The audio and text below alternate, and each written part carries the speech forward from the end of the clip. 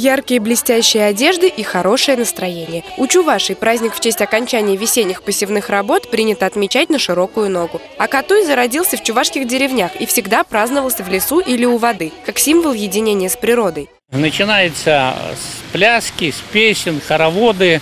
То есть праздник это всегда проводится весело и радостно. Но для того, чтобы провести э, весело и радостно праздник, надо хорошо поработать.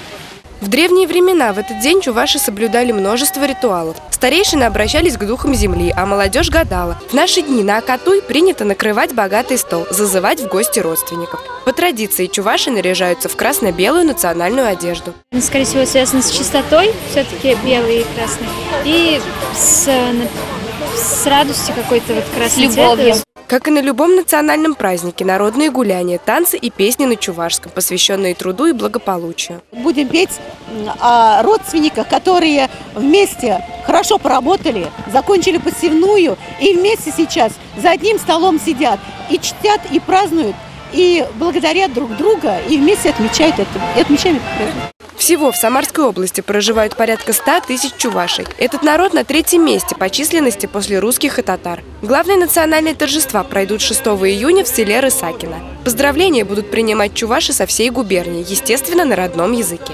И бир. Дорогие друзья, поздравляю с великим праздником Акатуй. Желаю здоровья, любви, счастья и добра. Алина Чемерис, Алексей Золотенков. События.